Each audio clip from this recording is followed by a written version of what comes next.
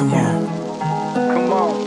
Uh, not too slow uh-huh. and not too fast. I got my mind on my speed when I run my flaps. Not too slow and not too fast. It's the same way when I tap some. Don't care if you're over Heathrow or Perth. Uh-huh. Dallas or Doha, anywhere on earth. Cause if you work the flap levers and you hear a ding, you better remember to do one thing. Brother, pull the speed, better do it fast. The chief pilot, always ready to chew on some flaps and slats are dumb. They don't know what they need. And so it's up to you not to overspeed. Getting this part right is just the first of your worries. There's an ECAM and a QRH, I hope you're in no hurry. So guard the capacity in your brain. Stop and think about obstacles in terrain. You got limits on fuel, altitude, and speed. So, baby, maybe a hold. Just what you need. There'll be no coffee and snacks for you. No time to finish up that Sudoku. While the ECAM's pretty easy, it's just a line or two.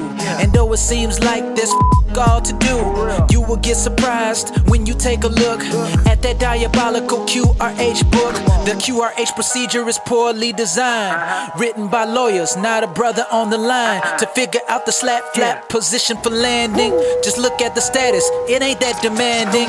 Then get her configured like it says in the book. Brother, don't cock it up, it ain't a good look. Just set the speed to VFE, next minus five, which is just fast enough to keep you alive, but still slow enough to run the next notch of flap. And you'll slow down without any more crap.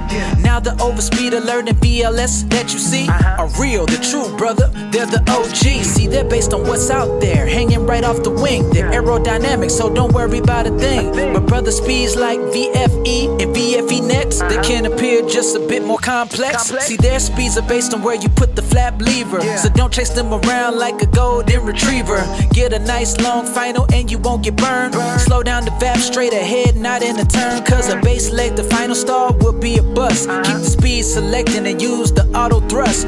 You're gonna need to turn off the autopilot. And sure to watch the attitude of your bitch. Now, when some guys go around, it's a real show. Cause they only looked at the table, not the writing below. You got to figure out your configure for the miss to be able to pick the correct speed for the go around table. And the says that the recommended speed could be slightly above your VFE. But not to worry, my brother. Remember, VFE is tied to the lever position and not the surfaces outside. And if she's heavy, you might get vexed. Cause VLS could be greater than VFE next. Not too slow and not too fast. I got my mind on my speed when I run my flaps. Not too slow and not too fast.